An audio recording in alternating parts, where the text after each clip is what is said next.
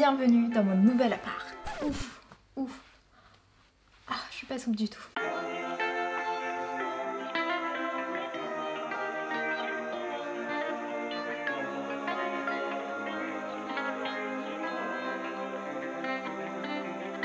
Si vous avez suivi mes aventures, mes réseaux sociaux ou cette chaîne, vous savez que j'ai déménagé deux fois en même pas 4 mois. En fait, en septembre, avec mon copain, on a décidé de s'installer ensemble. Ça fait 8 ans qu'on est ensemble.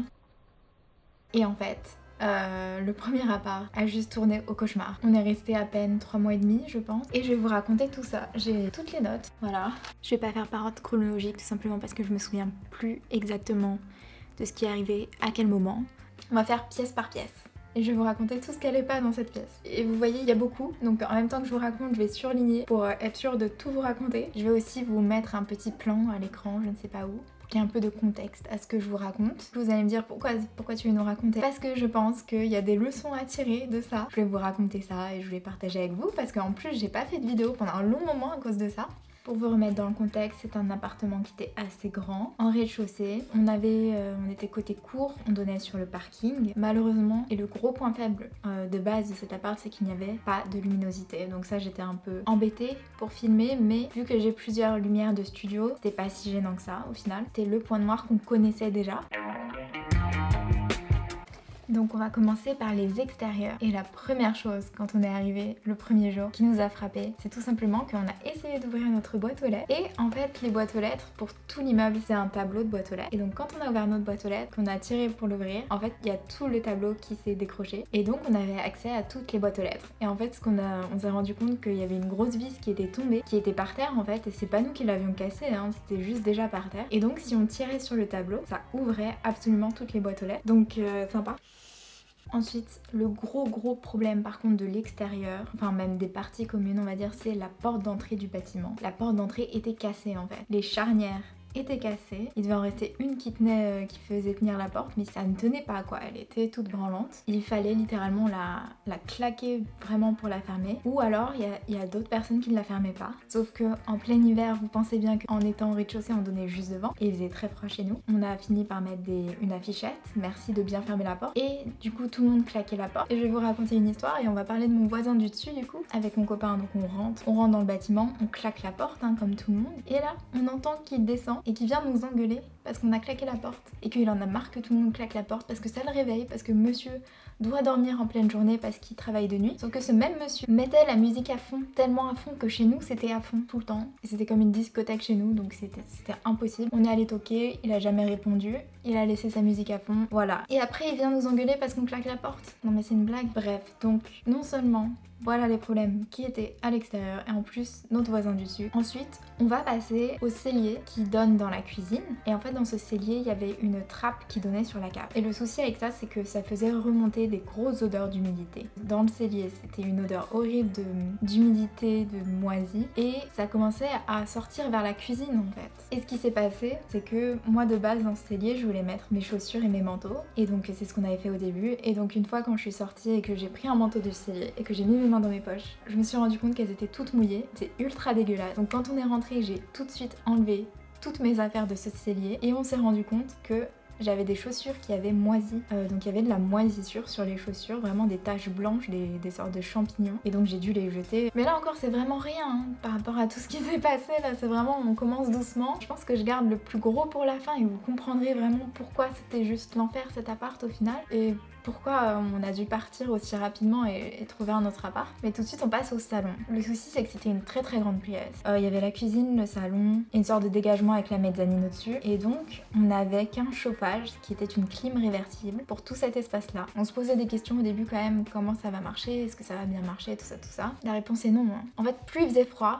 moins la clim fonctionnait, tout simplement. On avait des journées à 15 degrés dans le salon quoi. Voilà, avec euh, le, chauffage qui était en route mais qui ne voulait pas fonctionner, ne voulait pas faire d'air chaud. Et même quand il faisait l'air chaud, le souci c'est que la pièce était tellement grande et que en fait la clim était en hauteur et du coup ça faisait des espèces de courants d'air un peu dans le salon. Et sur le canapé il y avait le plus gros courant d'air froid de tout l'appart. C'était une horreur. Ça dépend où vous alliez. Il y avait vraiment des endroits où il y avait une sorte de courant d'air chaud et d'autres où c'est courant d'air froid. Donc c'était très bizarre. Et puis bien sûr le deuxième problème dans le salon, j'en ai déjà parlé, c'est le voisin. Juste au-dessus du salon, ils avaient la musique à fond très souvent et on l'entendait comme si on était avec eux. Il y avait les murs qui tremblaient. Je pouvais mettre la télé, j'entendais rien du tout. Et juste il s'en fichait en fait. On avait toqué, il répondait pas. Ensuite, un des points forts de base de cet appart, c'était que j'avais une très très grande pièce pour moi toute seule, pour mettre une bibliothèque et pour filmer. Et donc c'était la chambre du bas. Donc j'ai installé mes affaires, j'ai installé ma bibliothèque, j'ai mis mes livres, euh, j'avais mes lumières de studio, etc. Et mon bureau aussi pour le télétravail. Sauf que on s'est vite rendu compte que cette pièce était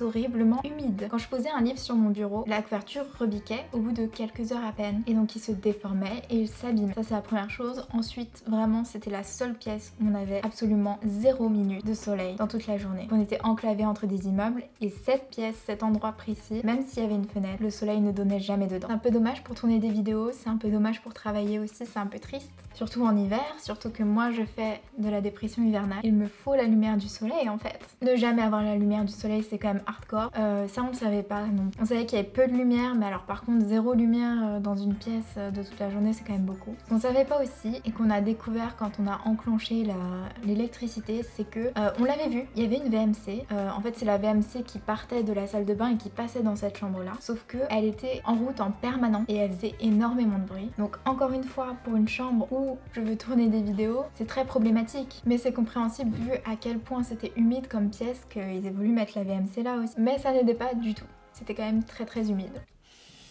Ensuite, je vais vous parler de l'étage. Donc l'étage, c'est en fait une mezzanine et ensuite une chambre en enfilade. Donc la mezzanine, c'était super. Ça donnait un petit endroit pour mon copain pour mettre son bureau. Premier souci qui était un peu rigolo mais un peu inquiétant quand même, c'est que quand on allumait la lumière de la chambre, la lumière de la mezzanine s'éteignait ou s'allumait, ça dépendait des moments. En fait, il y avait une drôle de relation entre les interrupteurs. Donc euh, on savait pas trop. Des fois ça allumait l'un, des fois ça allumait l'autre, des fois ça allumait les deux, des fois ça éteignait les deux. C'était le gros bazar. Et donc au début, c'est un peu rigolo. Mais en fait, on se dit qu'il y a quand même un souci électrique et c'est pas si drôle que ça en fait. Ça peut résulter, je sais pas, en incendie. Enfin, il peut y avoir une étincelle, un truc, un court-circuit, j'en sais rien. Je sais pas ce qu'ils ont fait en fait, ils ont fait de la merde.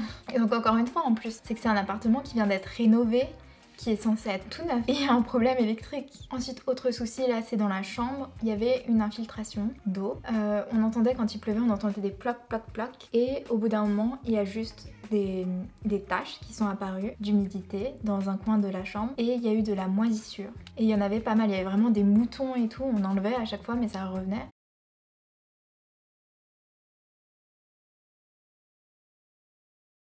Et ça c'est inquiétant quand même de la moisissure dans la chambre. Et après on a remarqué aussi quand on est parti, quand on a enlevé les meubles et tout, qu'il y avait à plusieurs endroits de l'appartement des taches d'humidité en fait. Donc c'est un souci qu'il y avait un peu partout, il devait y avoir des infiltrations un peu partout. Il y avait sûrement des problèmes de, toiture. On donnait partiellement sous le toit, partiellement avec un voisin, mais il y avait de gros soucis apparemment euh, d'infiltration. Et le pire c'est que dans la chambre, l'endroit où il y avait cette infiltration et où il y avait la moisissure, c'était pile où il y avait mes vêtements. Donc au début on l'avait pas remarqué et tout, c'est au bout d'un moment je prends des vêtements et là je vois qu'il y a de la moisissure, c'est juste dégueulasse. Je pense pas que ce soit bon de vivre avec de la moisissure dans sa chambre. Et là, les amis, on va attaquer les gros gros soucis et de pourquoi on a dû s'en aller très vite de cet appartement.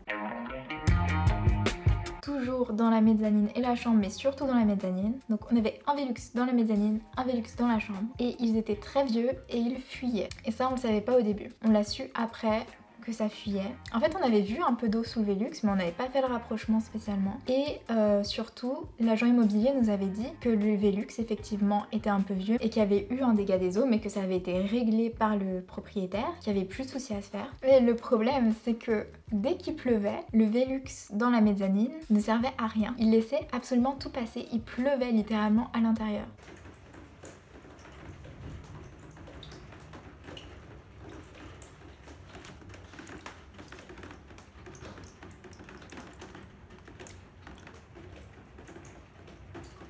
Et en dessous du Velux, il y avait une poutre en fait qui faisait tout le long de la mezzanine. Ça tombait du Velux et ça tombait tout le long de la poutre, dans toute la mezzanine. Sauf que comme je vous ai dit, moi mon copain avait mis son Il avait mis son bureau, il avait mis son PC. Il y avait des prises électriques, il y avait des multiprises. Donc il y a un jour où il a plu énormément et où, où j'ai eu extrêmement peur. Ça coulait carrément le long du mur. Ça coulait sur le radiateur qui était sur le mur. Ça coulait partout. Et on a juste très très vite enlevé le PC, très vite enlevé toutes les multiprises et tout. Mais le radiateur on peut pas l'enlever, on l'a juste coupé. Quand il pleut à l'intérieur, comme ça, c'est effrayant. Il y avait beaucoup de vent aussi, donc je pense que ça aidait pas non plus. Ça devait soulever les tuiles aussi et laisser encore plus passer d'eau. On a mis des bassines en dessous et juste ça les remplissait et ça faisait un bruit de dingue. Et c'était pas une petite pluie dehors, donc euh, et à l'intérieur non plus. Et ce jour-là, le Velux a aussi coulé dans la chambre un petit peu, beaucoup moins. Et lui, il coulait pas les autres jours, mais vraiment le jour où il a plu énormément. Ça devait faire un mois ou un mois et quelques qu'on était dans la barre. Et moi, j'ai juste dit, mais je veux partir.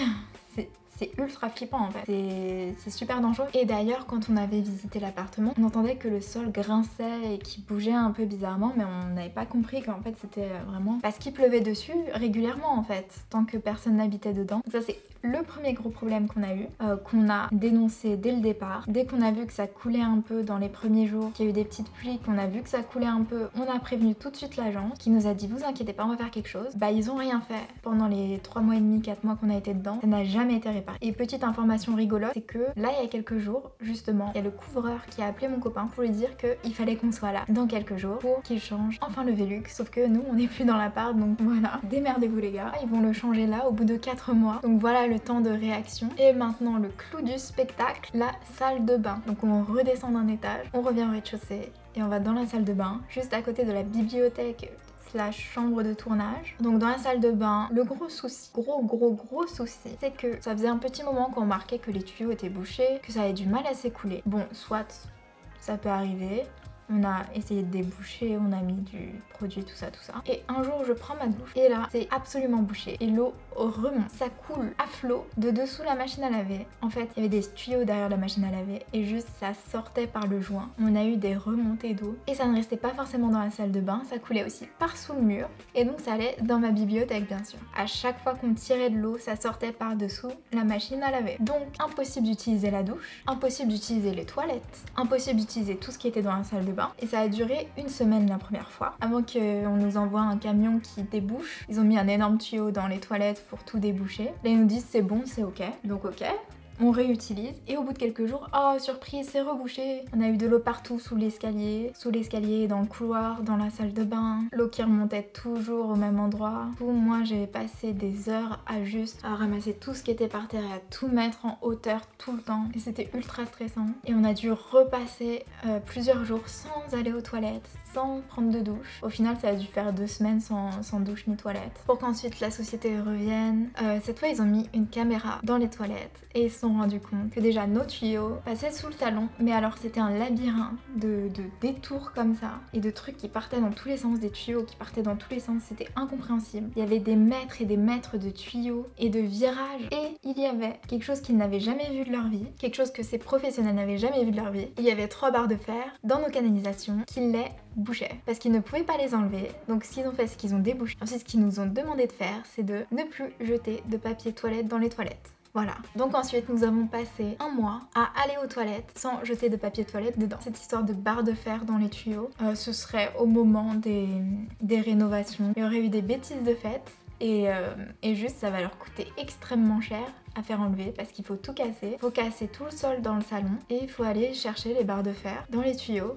donc euh, ça va leur coûter bonbon. En tout cas, nous, ça n'a pas été réparé tant qu'on était là. Là, on a demandé à notre agence de partir en fait. Et euh, normalement, c'est trois mois de, préavis, sauf que là, on a demandé à avoir qu'un seul mois vu tous les problèmes qu'il y avait dans l'appart. Et qu'en plus, on puisse pas utiliser les toilettes normalement, c'est juste pas normal en fait. On peut pas vivre comme ça. J'étais trop saoulée de payer le loyer en fait. Je trouvais pas ça normal de payer un loyer. Bref, voilà. Et qui va aussi avec, c'est tout le stress. C'était super stressant et j'ai pas du tout eu envie de filmer en fait. J'avais pas envie de filmer. Déjà de 1 parce que j'avais j'avais rangé tout mon équipement parce que j'avais trop peur qu'il se retrouve dans l'eau et qu'il soit défoncé. Et en plus, j'étais tellement stressée que ça servait à rien de sortir une caméra. Enfin, d'ailleurs, avec mon copain, le dernier mois, on était tellement stressés qu'on mangeait exprès de la malbouffe juste parce qu'on avait envie, on en avait besoin en fait, tellement le stress était présent. Et ça, c'est pas bien. On s'est mangé des super churros au Nutella. C'est très réconfortant. Ensuite, vu qu'on a fait raccourcir le préavis, on avait un mois pour trouver un autre appart. Ça a été extrêmement, extrêmement stressant. Vraiment, je pensais pas qu'on réussirait. On a réussi, c'est cool, on a un super appart. Il y a toujours des petits soucis, hein, mais ça va. Au moins, il y a du soleil. Et il est toujours quand même super spacieux. Le seul petit truc, c'est qu'on entend beaucoup les voisins du dessus. Et même, je vais vous dire, les voisins péteurs du dessus. Je ne plaisante pas. Euh, vous risquez de les entendre en vidéo. On entend beaucoup leurs pas. Euh, le plafond est très très fin et juste ils en donnent à cœur joie sur les paix. Euh, les trucs à retenir, c'est que votre appart peut avoir l'air super de base et vous pouvez trouver des gros défauts qui sortent de nulle part et qui sont invisibles. Ça arrive. Et là, ce qui est important, c'est est-ce que votre propriétaire réagit vite ou pas donc attention aux propriétaires. Nous, notre propriétaire, c'était en fait une, euh, une société. Et c'est ce que l'agence nous a expliqué après, c'est qu'il y avait trop d'intermédiaires et au final, rien n'était fait parce que tout le monde se renvoyait la balle et rien ne pouvait être fait rapidement. Sauf qu'ils sont bien gentils ces gens, mais eux ne vivent pas dans l'appartement. Nous, on y a vécu dedans. Voilà, c'est la fin de cette vidéo. J'espère que cette story time vous a plu. Je ne pensais jamais en faire. Mais là, il fallait que je vous raconte ça et que je vous explique pourquoi j'ai pas filmé pendant un long moment. On se voit dans une prochaine vidéo. Bye